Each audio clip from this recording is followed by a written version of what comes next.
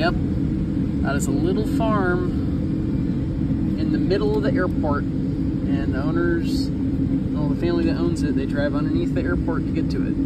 That's badass. Yeah, isn't that cool? They were that salty, they held on. They refused to sell for any reason. Yeah. I respect it.